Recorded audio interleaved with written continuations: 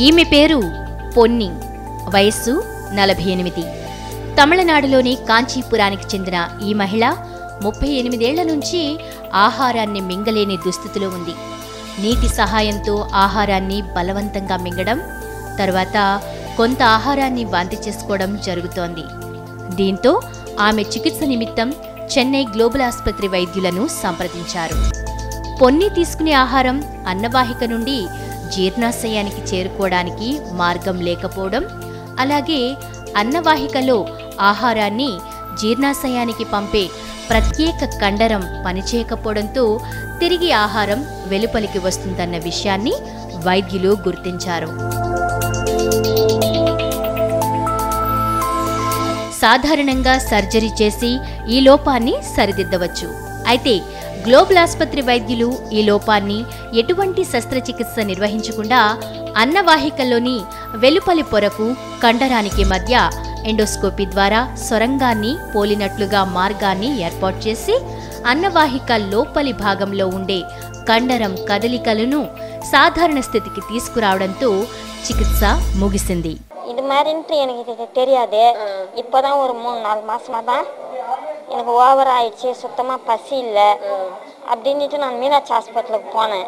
அவங்க டெஸ்ட் பண்ணி பார்த்துட்டு உனக்கு இந்த மாதிரி அடப்பு இருக்குமா? இதை சரி பண்ணணும்.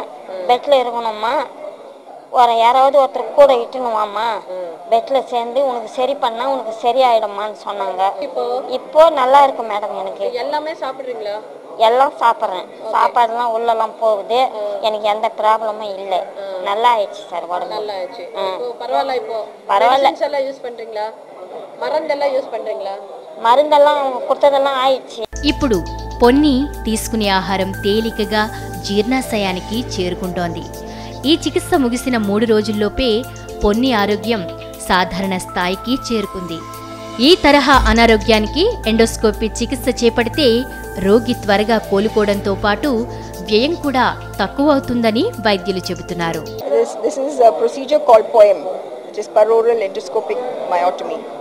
So that is a procedure which uh, is done for a condition called achalasia.